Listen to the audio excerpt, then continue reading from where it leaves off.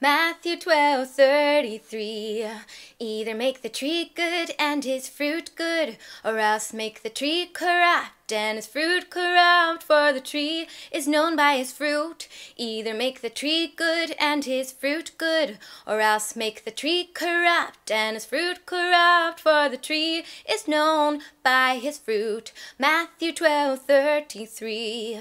Either make the tree good and his fruit good, or else make the tree corrupt and his fruit corrupt, for the tree is known by his fruit.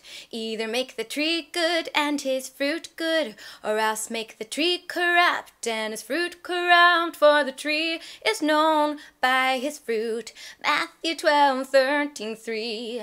Either make the tree good and his fruit good, or else make the tree corrupt and his fruit corrupt, for the tree is known by his fruit. Either make the tree good and his fruit good, or else make the tree corrupt and his fruit corrupt, for the tree is known by his fruit. Matthew 12, 13, 3.